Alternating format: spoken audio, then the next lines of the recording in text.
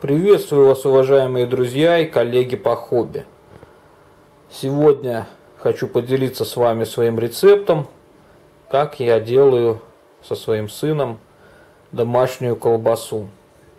Для этого я беру 3 килограмма свинины.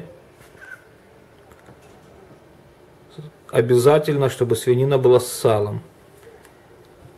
И беру 2 килограмма куриного филе.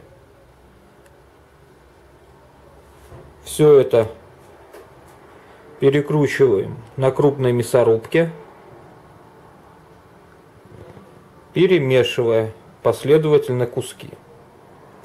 Свининка жирная, а как мы знаем, куриное филе мясо диетическое, суховатое. И вот вместе курино-свиная колбаса очень гармонирует друг с другом получается довольно вкусное блюдо.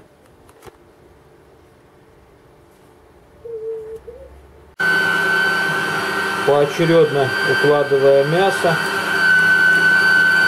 свинину, курицу, свинину, курицу, делаем фарш.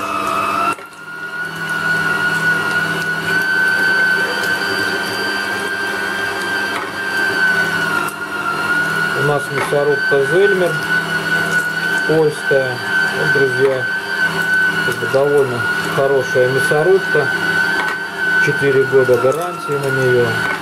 И, как видите, довольно быстро, хорошо перекручивает размороженное мясо.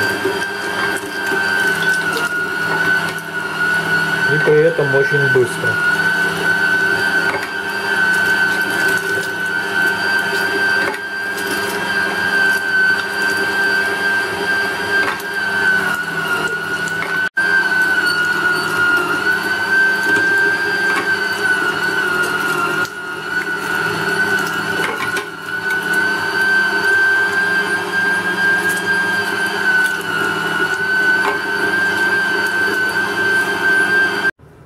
Вот, друзья, такое количество фарша получилось. Теперь фарш добавим приправы и начнем начинять колбаски. Соль добавляем по вкусу. Я примерно добавляю столовую ложку соли на такую кастрюльку фарша. Приправы мы покупаем натуральные, расфасованные в такие пакеты, коробочки. И тоже добавляйте приправ, кто сколько любит. Мы любим, чтобы было более такое ароматное, душистое. Поэтому добавляю побольше приправ. Здесь черный перец. Всякие разнообразные приправы.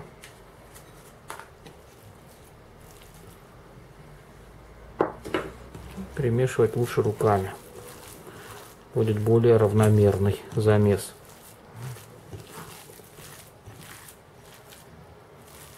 Вот фарш подготовили подготовили кишку на специальную насадку. И теперь укладываем приемник мясорубки фарш и постепенно начиняем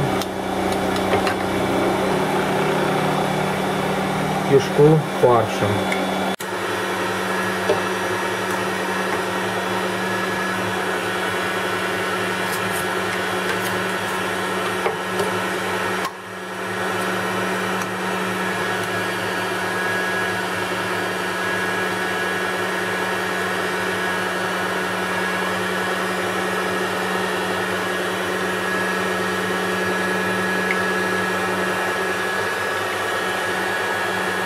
аккуратно, не спеша.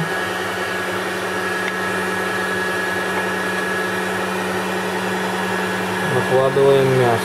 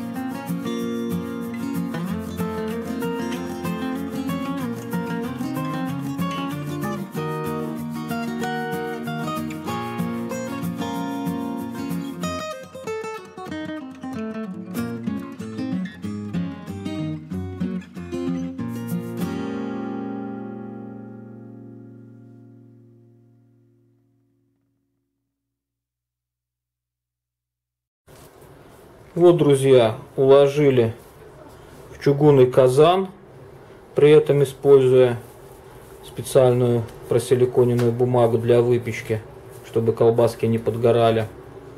И будем это ставить в духовку примерно на час при температуре 200-250 градусов.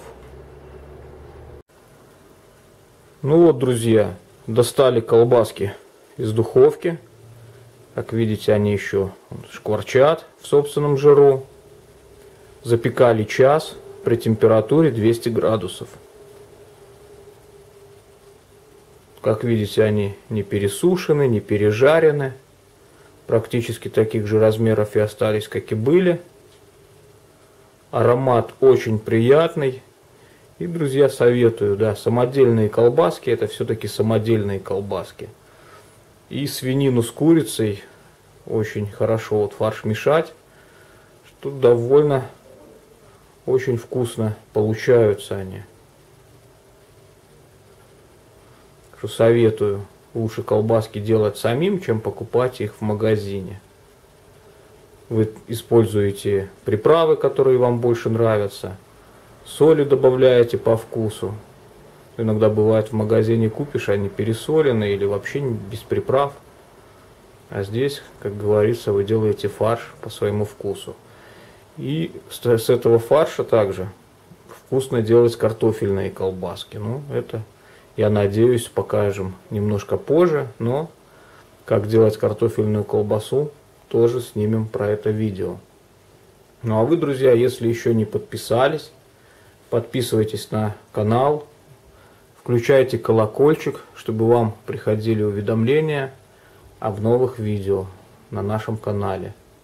Спасибо, друзья, большое. Всех благ вам, вашим близким. До новых встреч!